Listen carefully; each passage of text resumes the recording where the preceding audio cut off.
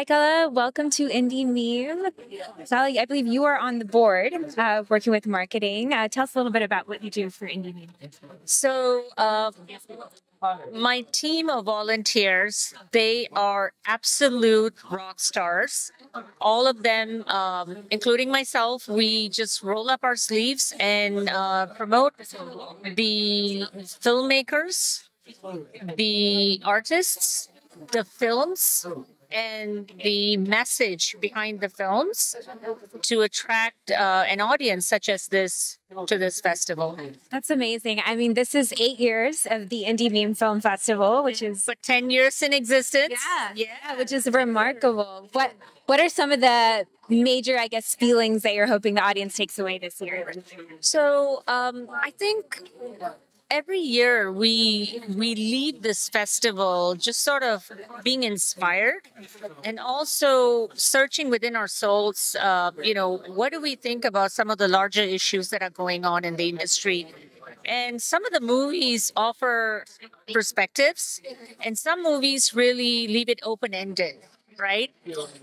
I personally like conclusions um, more than the open-ended ones because um, you know it's so much easier to draw a conclusion when there's one presented to you.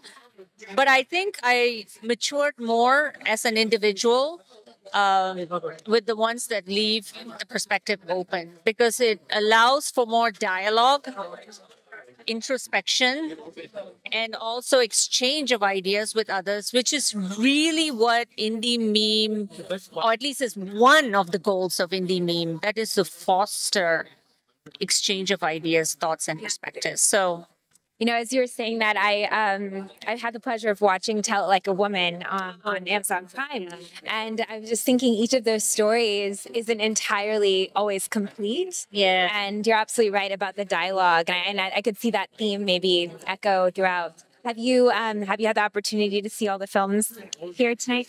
So the answer is no. The programming chair keeps it very close. Him and his committee.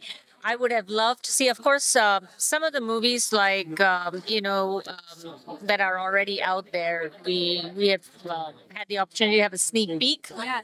but for the most part, I'm going to be as surprised as you are, and I can't wait. Yeah, it's going to be wonderful. Well, thank you so much, and congratulations on ten years. Thank you. It's great to be here. Likewise, thank you.